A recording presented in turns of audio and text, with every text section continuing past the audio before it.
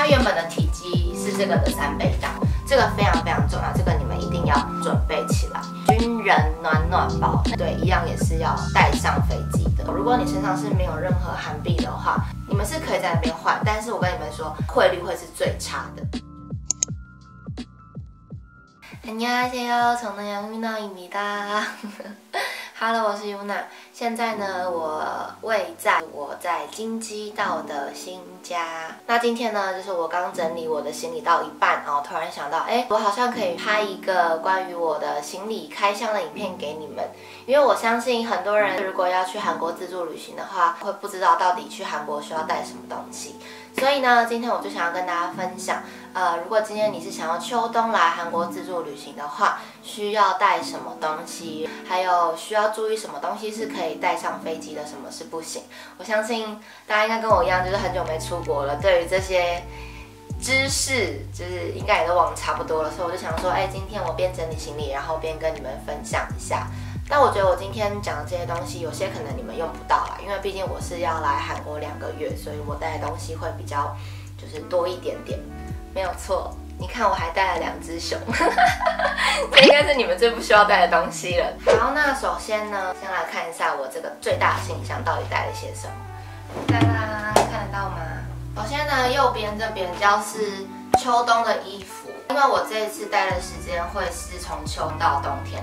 所以我除了带这种铺棉很厚很厚的衣服之外呢，我有带比较薄的，像是这两件棉裤，一个就是有铺毛的，一个就是那种夏天可以穿的。而且啊，其实韩国的房间啦，它都是有那个地热的，对，就是我这个垫子下面它其实有一个地热毯。所以呢，在衣服上面除了是带一些比较厚的款式之外，也可以带几件比较。薄的，当你睡觉的时候穿的，然后用那种洋葱式的穿搭。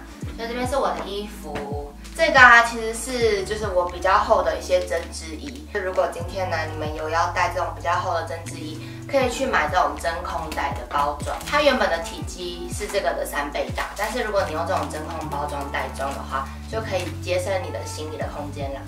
蛮建议大家可以去买这个的。一样，其实这一件啊，它是那种。很厚很厚的毛毛外套，但我一样用真空包装处理哦。然后啊，这个真空包装它有再多附一个这个就是抽气孔。然后这一组呢，我是在保雅买的，但我觉得它价格没有很便宜。可是我觉得对于你要去秋冬旅行来讲，这个真的非常方便。我那两只小熊也是这样带来的，所以他们刚刚在我行李箱里看起来超像两个肉饼。这个的话就是我带了两个围巾。然后两顶帽子，包包我也是带了两个，还有鞋子的部分，我除了这次带了一个球鞋之外呢，我还带了一个厚底的小皮鞋，还有多带了一个靴子。对，秋冬还是要有靴子吧。好，这些是一些衣服跟饰品的部分。然后这一袋呢，就我自己的内衣裤啦，就不多介绍了。我也有多带了几件发热衣，这个东西超酷的。是我之前去日本买的，然后它是这种铺棉的裤袜，就是如果你冬天还是想要当辣妹，还是想要穿短裤或者是短裙，可是你又超级无敌怕冷的话，就可以穿这个。还带了一个，这是一个收纳式的羽绒背心，就是你可以把它穿在你的。外套里面多增加一个保暖度，可是又看不出破绽，因为你穿外套或大衣什么的，其实这个就会被遮住了。哦，保暖的部分呢，你们也可以多带这个暖暖包。暖暖包有分贴的跟手拿的，就如果你们真的很怕冷的话，可以带一些贴的贴在你的衣服里面。可是我韩国的朋友跟我说，就是韩国有一种叫做军人暖暖包，那个的话就是保暖度又更好，然后又很便宜，所以。大家可以斟酌一下，可能带个一两包来，然后在那边买。还有什么啊？口罩。其实现在韩国呢，我昨天有问，他们是在户外可以不戴口罩，但是在室内还是要戴口罩。而且大部分的韩国人现在也都还是会戴口罩比较多，所以口罩还是要戴着。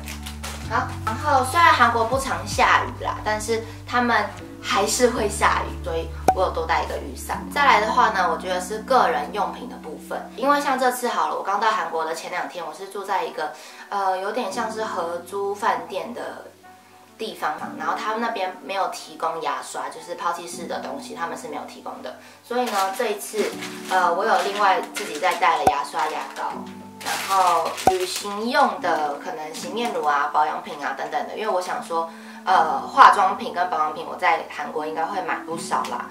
然后还有就是我的化妆包，另外一个呢就是比较小的小型的登机箱。左边的这个小的登机箱啊，它其实也没什么好介绍的。我右边的行李的空间全部都是台湾的一些伴手礼要给我朋友的。然后左边的话哦，我还带了电脑，电脑是要放在手提行李的。你们只要记一件事情好了，就是所有的电器产品一律都是。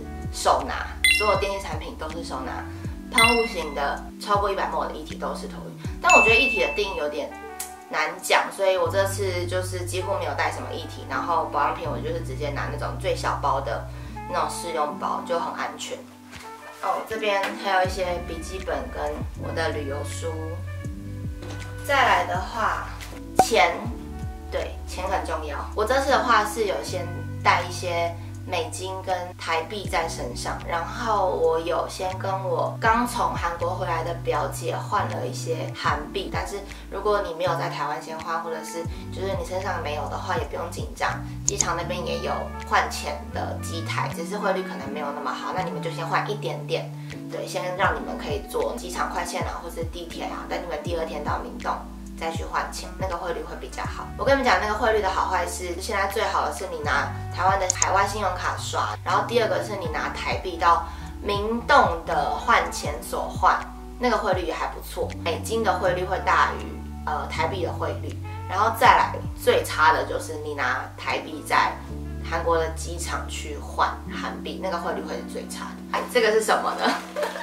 这一袋啊，其实基本上都是电器产品，里面呢有两台相机，还有电脑、手机、相机的充电器跟电池，通通都在这边，还有大的小的脚架。但是我觉得你们可能不会用到那么多，你们唯一要注意的就是台湾跟韩国的电压是不一样的，韩国的电压是二二零，台湾是一一零，所以呀，你们一定要就是准备这种变压器，这个是两头的。然后是圆的，台湾的是这种方的，然后你就是把它插在这边，然后用这个变压器才可以使用韩国的插头，这个非常非常重要，这个你们一定要准备起来，也要去注意你的电器产品是不是可以承受到两百二十 V 的电压。比方说在台湾的可能吹风机呀就没有办法拿来韩国用哦，因为它没有办法承受那样的电压，就算你有变压器好了，你一插它可能就会爆炸或者烧坏。所以这一定也要注意。Anyway，这一整袋的电器产品，通通都要手提。好，我这次身上还有带一个比较小的随身包。然后这个随身包啊，我觉得你们可以放什么？最重要的差点没有说护照。还有哦，这个也很重要，充电器就是这个水虫，一样也是要带上飞机的，不能托运。我还要准备一个护手霜，因为在韩国其实空气啊真的是比台湾干很多。我的纸源其实都裂掉了，所以还有一个护手霜。然后再来的话，一个口红，跟我的钱包，对，就是没有什么其他东西了。好啦，那以上呢就是我今天的影片的分享啦。那关于就是可能我们之后要去哪里办网卡，要办 eSIM 还是要拿 WiFi 机呀，或者是说哎要去哪里换钱呐？等等的一些跟自助旅行有关的攻略啊，我会再拍其他影片，慢慢的分享给你们。那如果你们有特别想看的影片内容，也欢迎在底下留言跟我说了。那就请大家跟我一起期待这两个月的生活吧。安妞，你们看我的落地窗，然后我住的地方，楼下就是满满的枫叶，给你们看我住的地方。看到没有？我家楼下就是枫叶耶。在韩国呢，最幸福的事就是有满满的太阳。台湾的天空永远都是灰蒙蒙的。我现在每天早上起来都能够被太阳晒醒，真的好开心